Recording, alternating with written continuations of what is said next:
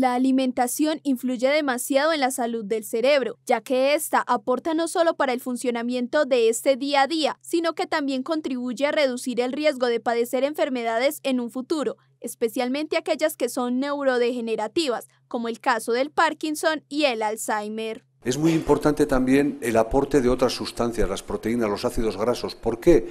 Para la formación del cerebro.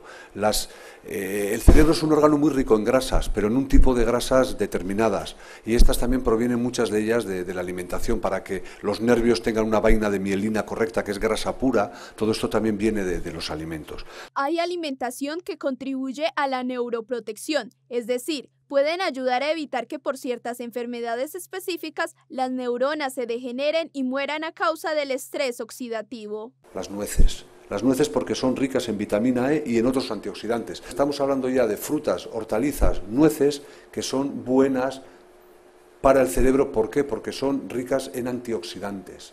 Lo mismo podríamos decir del pescado, que tiene el, el ácido omega 3, que también es un potente antioxidante. Este es un tipo de dieta conocida como mediterránea, que se conoce como el modo de alimentarse basado en una idealización de algunos patrones dietéticos de los países mediterráneos, especialmente España, Italia, entre otros. ¿Qué podemos hacer? Pues fundamentalmente cuidar nuestro estilo de vida. Y nuestro estilo de vida, lo que nosotros, lo que está en nuestra mano, es alimentarnos de la manera más saludable posible, realizar una actividad física moderada, mantenernos vivos intelectualmente y socialmente y ver la vida con optimismo.